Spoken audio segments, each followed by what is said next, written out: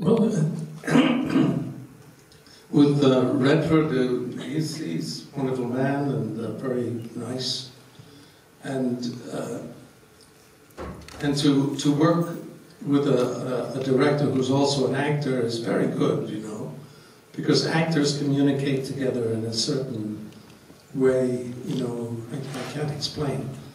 But there is a, a kind of uh, family understanding between them.